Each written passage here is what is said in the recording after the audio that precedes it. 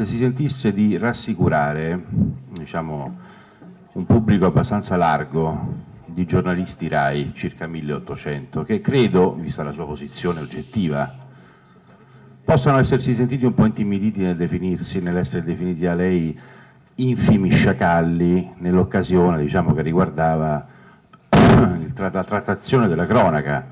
da parte di alcuni di loro della vicenda giudiziaria che ha riguardato e riguarda la sindaca di Roma Raggi. L'altra eh, osservazione che vorrei farle è non crede che tutto sommato potremmo mettere, non dico per iscritto, ma insomma un impegno serio da rivolgere all'azienda per cui istituiamo obbligatoriamente un contraddittorio politico. Per ogni volta che un politico va in televisione ce deve essere un altro, penso alle trasmissioni di approfondimento,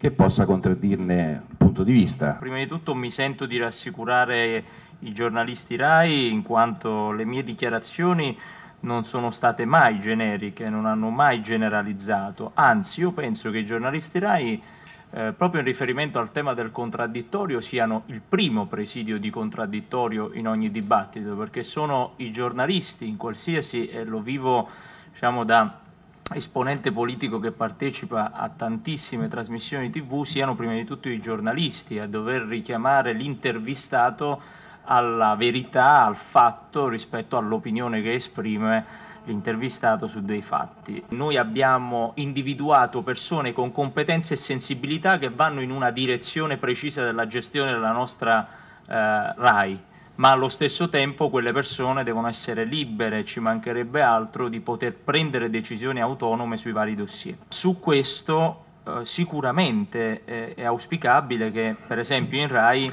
eh, ci possano essere sempre più occasioni di eh, far checking eh, non solo rispetto ai temi che ci appassionano di più come politici, ma in generale eh, anche sul tema della scienza, sul tema generale di quello che succede nel mondo. Eh, mi dispiace e dispiace anche a me che ci siano poche trasmissioni di dibattito politico serale, in prima serata, anzi forse una, eh, ma noi, e dico noi anche se eh, io stavo all'opposizione alla precedente legislatura, le abbiamo regalate alla concorrenza, fior fior di professionisti, ehm, invitandoli, mettiamola così, ad andare via dalla RAI.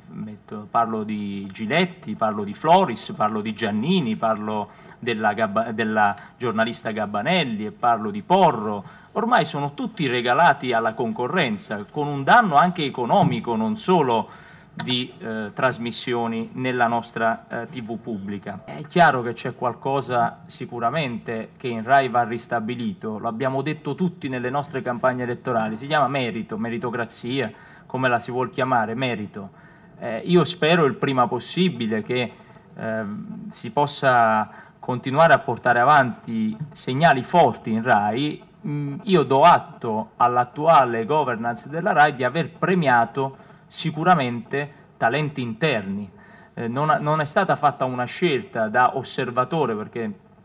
le scelte le hanno fatte loro, non è stata fatta una scelta sui direttori di rete, sui direttori di TG, sui vice direttori di persone principalmente esterne. Si crede nella struttura RAI, a quanto vedo, si crede nei talenti interni e eh, da questo punto di vista ci sono state anche delle riconferme rispetto al passato, penso al direttore di Rai 3. Bisogna proseguire nel dare segnali interni di merito a persone che magari in tutti questi anni erano state un po' emarginate, erano state anche un po' considerate quelli che dicevano troppi no e quindi non erano favorevoli a determinate dinamiche. Mi si chiedeva se eh, FOA, eh, se